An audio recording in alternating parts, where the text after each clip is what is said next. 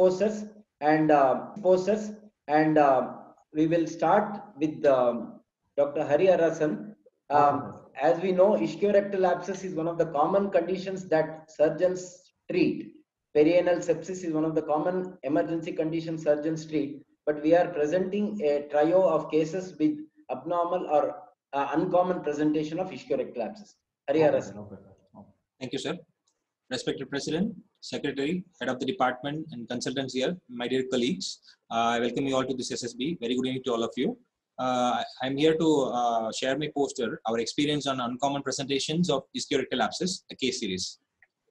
So 90% of idiopathic anorectal abscess arise from infections of cryptoglandular epithelium, and this is most commonly for perineal, followed by ischiorectal abscess, which is 30%. And deeper infections are difficult to diagnose, and in terms of sepsis and necrotizing soft tissue infection, urgent surgical drainage is recommended. One such potential condition is spinous gangrene caused by synergistic infections, and the ischiorectal abscess spreading into the anterior abdominal wall is very rare, and uh, very few cases has been reported in the literature before. This is a case of 55-year-old male patient, complains of pain in the perineal region since one week. He is initially evaluated elsewhere and later present to us. Clinically, he had right ischiorectal abscess. Pre-op CT, which was taken there, showed right ischiorectal abscess with concern for evolving abscess. And hence, deroofing of abscess cavity was done.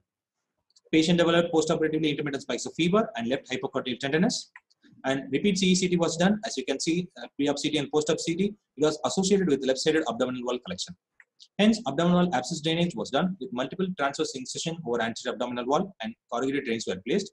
Patient was on IV broad-spectrum antibiotics and wound irrigation was done twice daily. Patient recovered well and followed up patient was doing well. This is another case of 35-year-old male admitted in rural general hospital with painful swelling in perineal regions and fever for three days. Symptoms got worse, hence he got referred to us. And patient clinically had a left ischiorectal abscess with coronary gangrene of scrotum and induration extending to the left inguinal region. And CECT was done, which, show, which showed pockets of air in the perineum and uh, extending to the abdominal wall, chest, and other findings as described here. Hence, drainage and extensive debridement of left ischiorectal fossa, scrotum, and bilateral inguinal exploration drainage was done.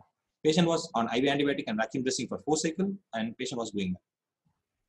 This is another case, 33-year-old male came with complaints of pain in the perineal region for six weeks. It was a native treatment. Patient was diagnosed with right ischiorectal abscess, hence drainage and debridement of abscess cavity was done. Patient was re-explored in view of severe pain and swelling around the scrotum. Patient still had persistent fever and pain, hence MRI pelvis was done, which revealed edematous anterior abdominal fat extending from scrotum to inguinal area. Hence, bilateral exploration of inguinal region and drainage of inguinal and supralevator abscess and debridement was done.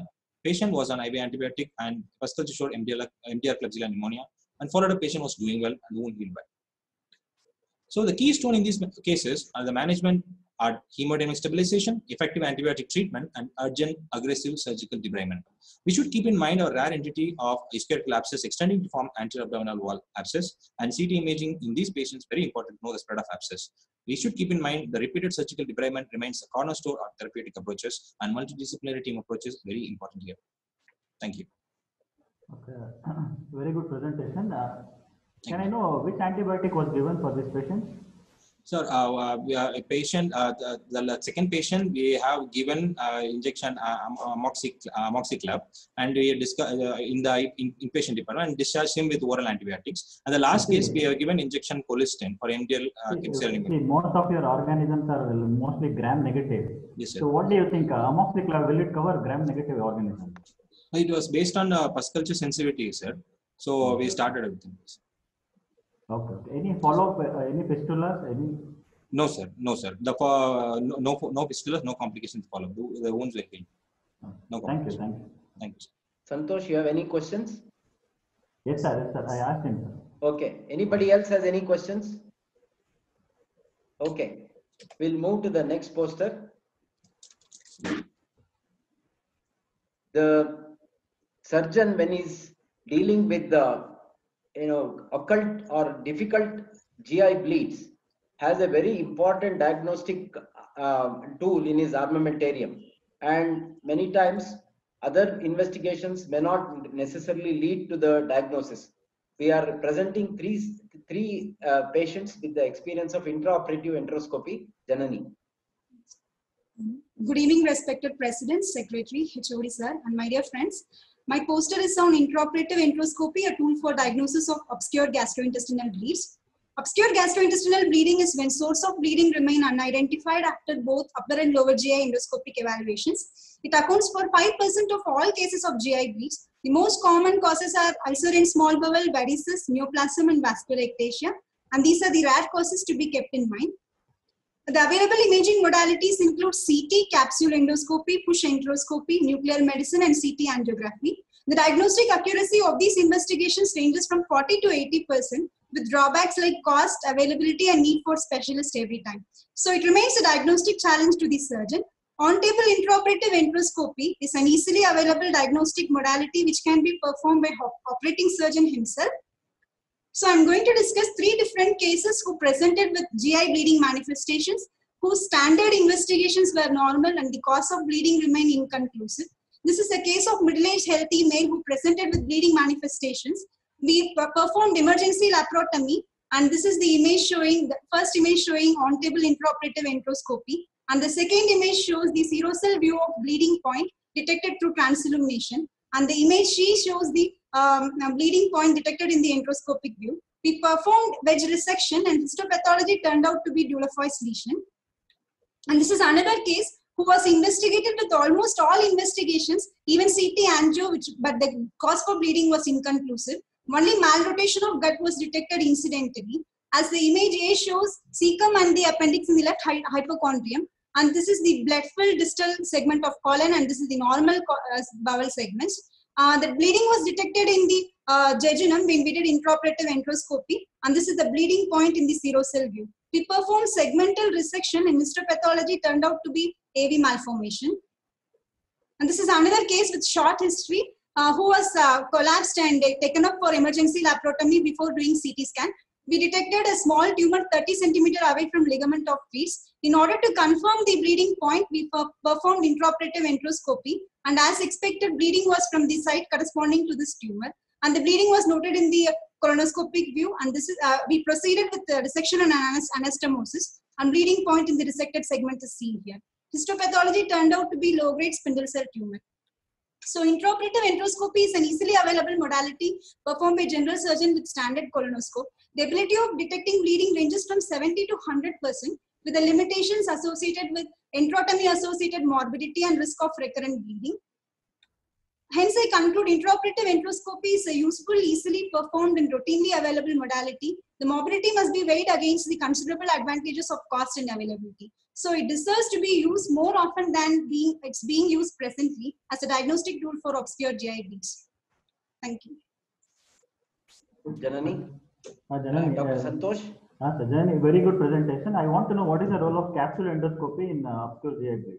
Yes, sir. Uh, sir, uh, capsule endoscopy can be done in uh, uh, GI bleed, sir, but it is only diagnostic. We cannot perform the therapeutic, uh, like biopsy or for therapeutic purpose, we cannot, uh, we cannot opt uh, for it, sir. Okay. Thank you. Yes. Thank you. Thank you, sir. Nagraj, is Nagraj there? Dr. Venkatesh? Any other disadvantage, Janani, with capsule Yes, endoscopy? ma'am.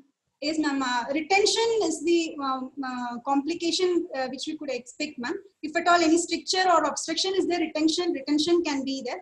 And uh, mm, only that, ma'am. Uh, only it is diagnostic.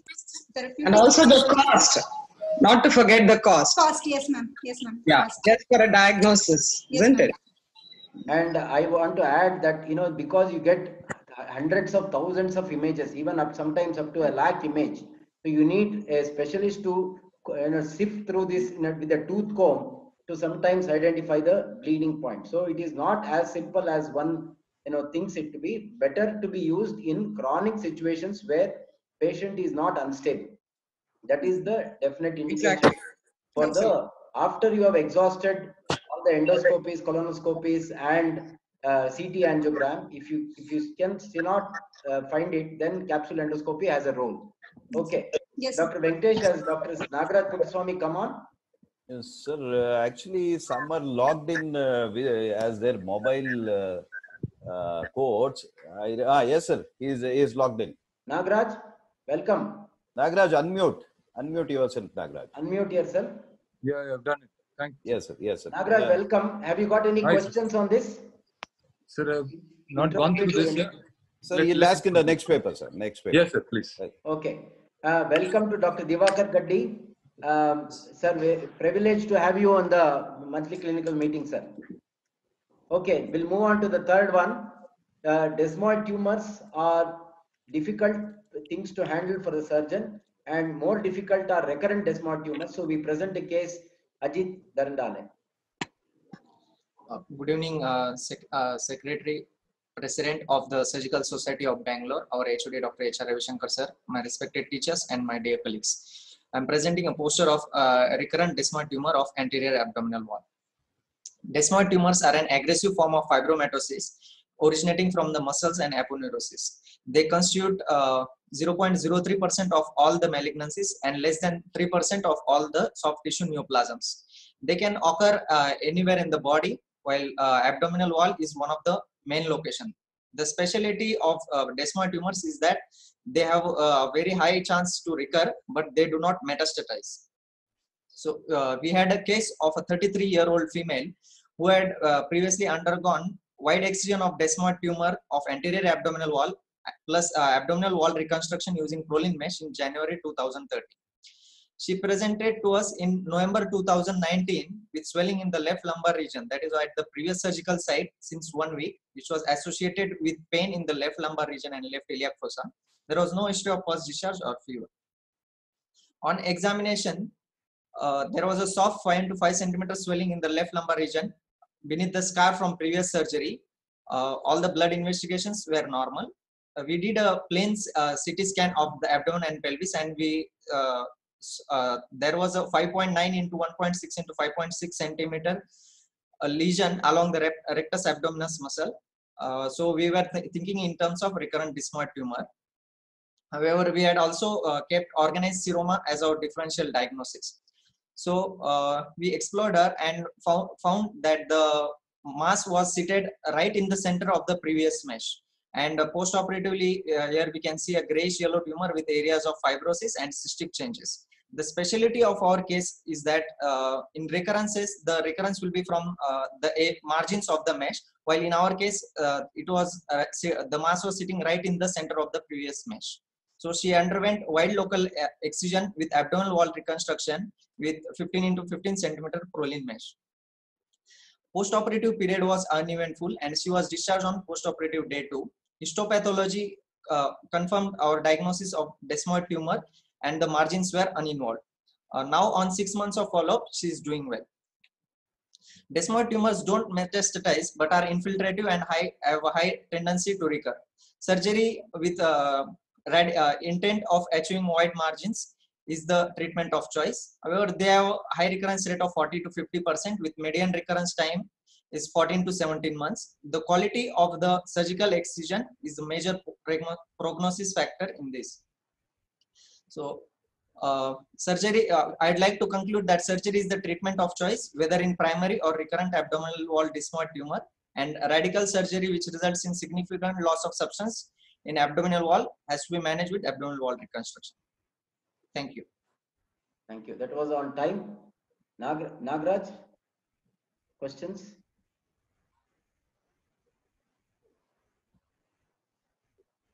Dr. Santosh? Yes, sir. Santosh, Nagraj, Yes, unmute yourself and ask questions. Yeah, see, what is the ideal investigation of choice for desmoid? Is it CT scan or MRI? Sir, uh, uh, in CT scan is the ideal investigation, sir. For, for recurrence, it is mentioned that MRI is the ideal investigation of uh, investigation of choice in rec for recurrences. So why was MRI not done in this case? Sir, uh, Okay, okay, no problem. Good presentation. What was the tumor margin? How much tumor margin was given for the uh, two two centimeter margin from the palpable uh, margin of the tumor, sir. Surgically palpable margin, two centimeter wide. Uh, Reconstruction? Uh, reconstruction was done with a um, Prolene mesh, sir, 15 into 15 centimeter. Okay. Thank you, thank you. Thank you. Sir. Nagraj, are you there? Nagraj, any questions? Unmute, unmute and. uh, ಹಾ, ಹಾ, any okay, okay. I was unable to unmute it. ಆಯ್ತು ಈಗ uh, so there is a wide excision. You have lot of uh, you know uh, defect there. How do you, you know correct it? Do you do a co- primary correction here, or uh, do you plan for a secondary correction? Invariably, the, this patient will develop incisional hernia. No, sir, uh, because uh, in uh, there was no incisional hernia in the this patient had undergone uh, previous operation there was no incisional hernia so we had uh, uh, repaired it with uh, Prolene mesh sir Prolene mesh again. yes yes sir Okay, okay. Right. Uh, Any any other doctor, questions? Yeah. doctor, how Yeah. do you anticipate a recurrence in the center when you have already removed the muscle? See, you will remove the whole soft tissue in the anterior abdominal wall. How do you expect recurrence uh, in the central part post surgery? sir the, i didn't understand the question sir actually Uh, Yeah, desmoid tumor, yes sir when you have done a primary excision, yes sir you will remove the whole desmoid tumor along with the soft tissue. Yes sir So the recurrence should be in the periphery. How do you expect? yes sir it to that, that was that was the specialty of our case sir we had uh, we have done extensive literature search there is no case like this so this was first time we were also expecting in recurrences it will grow from the margins but here we- uh, Margins. tumor was uh, sitting right in the center of the mesh so it was uh, new for us Sir, the surgery was done elsewhere before. So. Ah, okay, okay. So it must be an inadequate surgery. Somewhere there is a few cells left. Otherwise, without the Can I, cells, a can I come in? uh, Can, can I come in? yeah. Uh, Dr. Lakshman here. I had Yes, done the sir. primary surgery as well. Okay. Ah. Proven, proven wide excision with no margins involved. This is unusual that it has come in the middle. There are only possibilities. There might have been some cells left in the wound at that time, in spite of full excision and washout that we routinely give. The second possibility is that there may be some cells that creep from the edges from the periphery. to from the the center. periphery creep on and then they they can hold on the mesh, which is very unusual. Yeah. True, sir. Okay. So du- during inflammatory phase, the Yes. cells may migrate along with the blood circulation. Yes. Neovascular. Okay, right. Okay, thank you. I think that was a good presentation, Ajit. yes thank you sir. Um, shall we move on to the next poster? Hari? Yeah. So, uh, patients having um, inguinal, um, uh, laparoscopic inguinal hernia repair is now become common. We present a very unusual case of a soft tissue mass arising from the site of the previous uh, step repair, left inguinal hernia repair. Okay, Saurabh. Thank you, sir. Good evening, respected President, Secretary, Head of Department, teachers, and my dear friends. My poster is a case of a soft tissue mass in previous inguinal hernia mesh repair site, a diagnostic surprise. A 65-year-old male came to the outpatient department with complaints of bilateral lower limb swelling, left greater than right, since one month, with no history of pain in the leg or no visible engorgement of veins. Patient was a known diabetic and he had underwent laparoscopic left inguinal hernia mesh repair 10 years ago. On examination, there was bilateral lower limb swelling, left greater than right. And there was firm to hard immobile non-tender mass of size 10 to 10 centimeter over, the left inguinal region. There was scars of previous laparoscopic surgery for hernia repair, and there was no presence of generalized lymphadenopathy. Liver and spleen was not enlarged.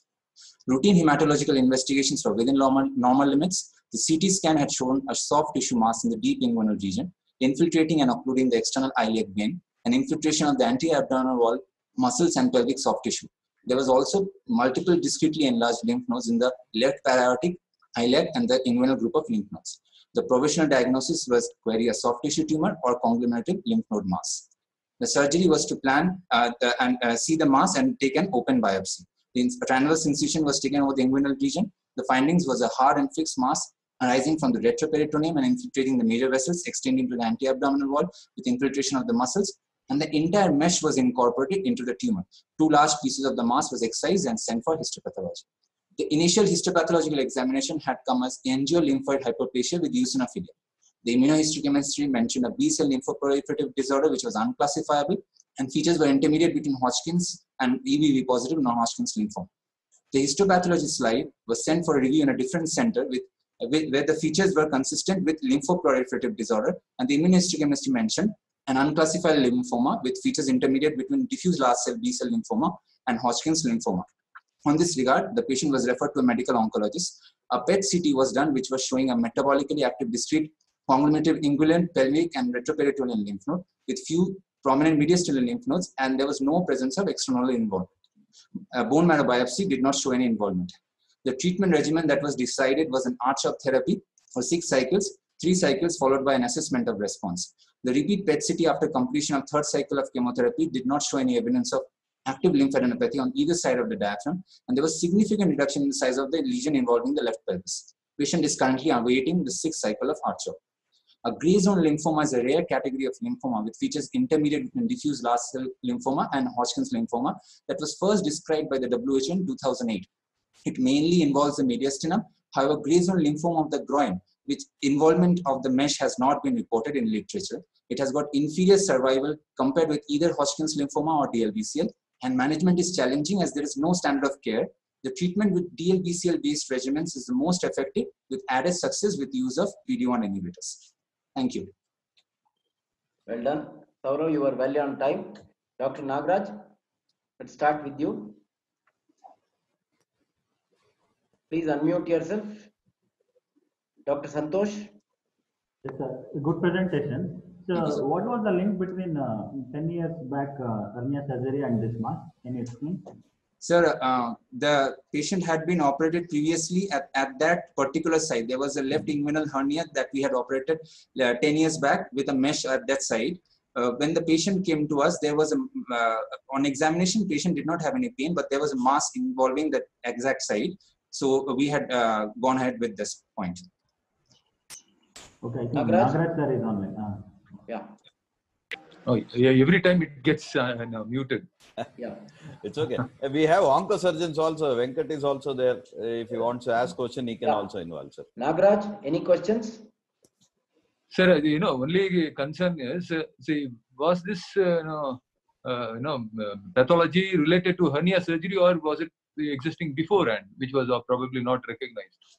So, so probably it was uh, present uh, before, uh, which we which the patient did not recognize as it, it was not causing him symptoms initially. He came to us only when he started having uh, limb swelling, sir. Uh, Was it tap or TAP, sir, earlier? The Say- procedure which was done? So it was a it, it was a tap, sir. TAP procedure. And, uh, you know, it was not recognized uh, during that procedure? Where you, the No, sir. No, sir. Uh, uh, the, the last procedure that time, he did not have any mass in that side, sir. Sir, can I come in? That was 10 years back. That was Oh, a sorry. procedure. Yeah. 10 years back. Okay, okay. Venkat, you have any questions? No, no, whatever was done was according to the protocol. This was a mass in the region of the mesh. No, normally we do a core needle biopsy. Yes. Because there was diagnosis difficulty, I think they did a correct thing. Yes, sir. Okay. We'll move on to the next uh, uh, poster.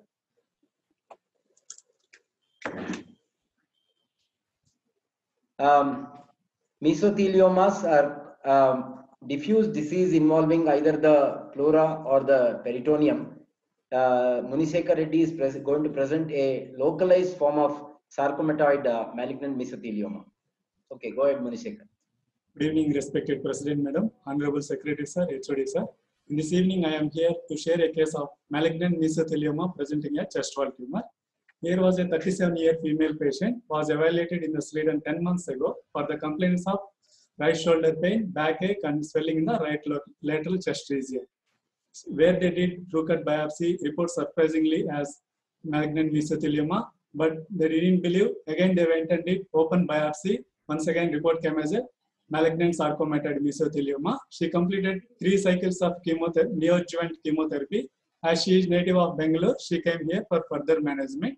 On examination, there was 3 into 5 centimeter ill-defined hard fixed mass in the right eight intercostal space. She came to us with MRI chest and abdomen as well as PET scan. The MRI shows 11 into 8 into 13 centimeter mass in- infiltrating 8th and 9th ribs along with indentation of diaphragm and liver. There was also 2 into 2 centimeter pleural nodule in the right cardiophrenic recess, probably metastasis. We did MDT discussion. After that, she subjected to surgery, that is right posterolateral thoracotomy and en masse excision of the tumor, along with reconstruction of the diaphragm and chest wall. Here in the first image, you can see the pleural nodule in the right cardiophrenic recess. The second image showing the bare area of the liver after resection of the tumor, along with part of the diaphragm, which was reconstructed using polypropylene mesh. chest wall reconstruction using two 10 into 10 polypropylene mesh with bone cement in between. The last image showing the specimen along with part of rib, vegetation of the lung, and pleural nodule. Histopathology confirms the diagnosis of malignant mesothelioma. All cut margins were free of tumor. There was no lymphovascular invasion. She completed three cycles of adjuvant chemotherapy and local radiotherapy. Follow-up, she is doing pretty well. On one year follow-up, PET scan shows no, no recurrence of the tumor. Why we are sharing this case is usually malignant mesothelioma disease of sixth to seventh decade and disease of male predominance with diffuse in nature.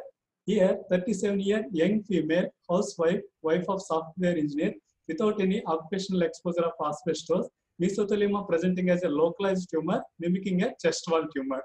She is doing well after protocol based treatment, one year follow up period, that is neoadjuvant chemotherapy, surgery followed by adjuvant chemotherapy. With this, we would like to summarize malignant mesothelioma, rare and aggressive tumor, requires surgery and MDT approach for management. Thank you very much. Good, Monishekhar, you presented well within time. Um, shall start with the, we'll see whether Nagraj can come in this time. Dr. Santosh? Yeah, does she require any more follow-up? Yes, sir. Uh, she requires follow-up up to five years. Uh, once in a three months in first two years, later on six months to up to five years, then annually later on period, sir. Maximum 10 to 12 years. Thank you, 10 thank you, years, sir. Monishekhar. Yes. Good presentation. Thank you very much. So, Venkat here. Yes, sir. See, normally malignant mesothelioma of the pleura, Yes, sir. we do much more than what was done. You are lucky that one year down the lane the patient is now has done well. Yes, sir. Yes, sir. But uh, malignant mesothelioma of the pleura, the treatment of choice is actually extrapleural pneumonectomy. Yes, sir. Removal of the tumor along with lung and part of diaphragm and uh, pericardium, which later on reconstructed, sir. Yes, sir. Okay. And another option is uh, decortication and uh, pleural tumors. But was it done in, en bloc is my question. Yes, sir. We removed the tumor along with segments of eighth and ninth ribs and uh, wedge section of the Can I lung. answer? and Monishekhar, go back. No, no, no. Go My back question is very clear. Yes, sir. Normally, the recommendation malignant mesothelioma of the pleura is not a localized disease. Yes, sir. It is the disease of the whole pleura. Yes, sir. So the recommendation is actually a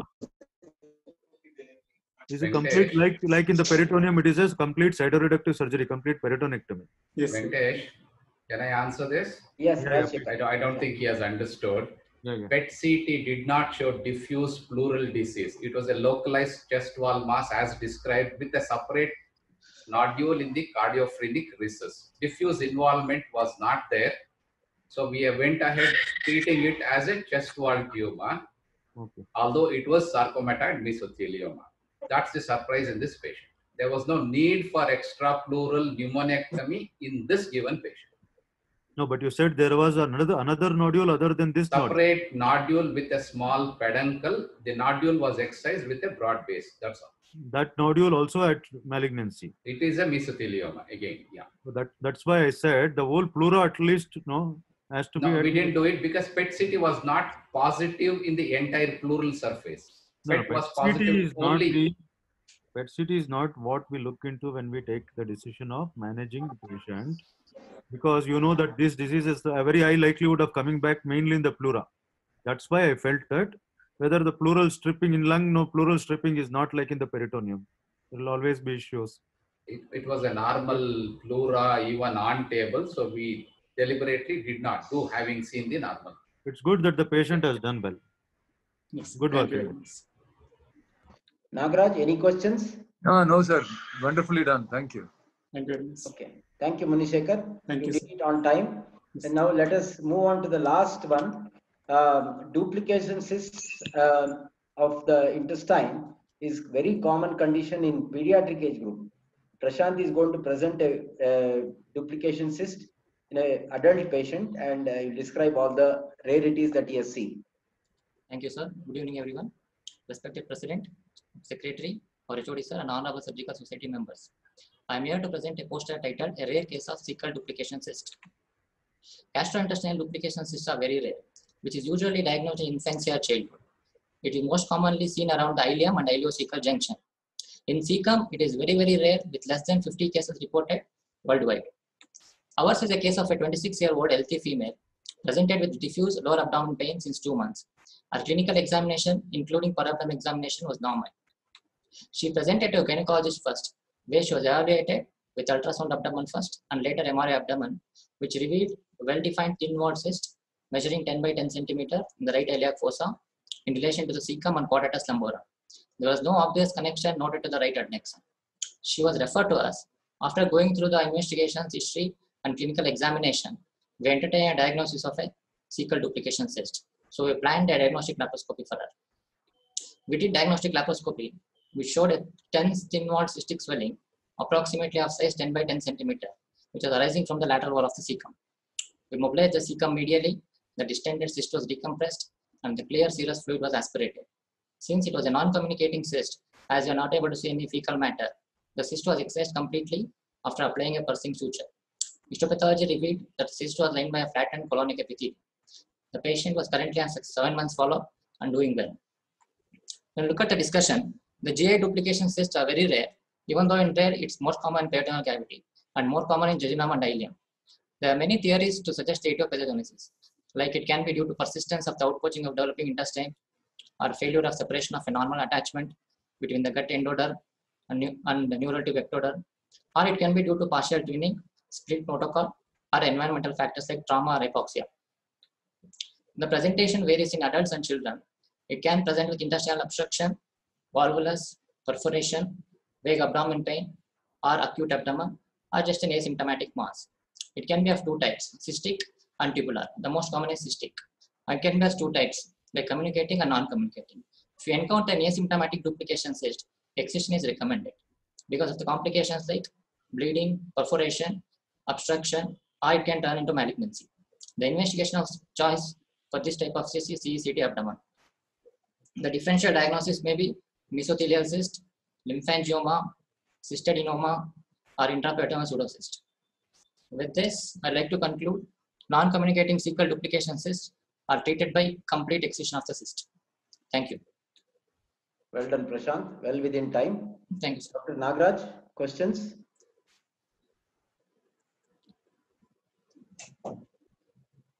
Santosh? Ah, good presentation, Prashant. Huh? Thank you. Thank you. Okay. Uh, Dr. Venkatesh, you are sir, the pediatric surgeon, you are the expert in the field. Would you like to ask any questions? Uh, so, what is the incidence? So incidence, Hello, is- so incidence is most commonly in the uh, in the first two years, sir. It is very rare, sir. Okay, okay, yeah, yeah. One to How many percent. cases have been reported in adults? So adults, it is around 42 cases, sir, Okay, okay. worldwide. Uh, worldwide, okay. Good man. Yeah, you've you, done a good job. Thank you. Yeah. So that brings us to the end of the posters.